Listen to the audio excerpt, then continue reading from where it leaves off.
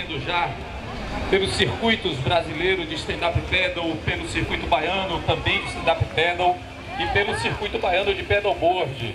Acolhemos a todos vocês, atletas, visitantes, frequentadores da Praia do Porto da Barra.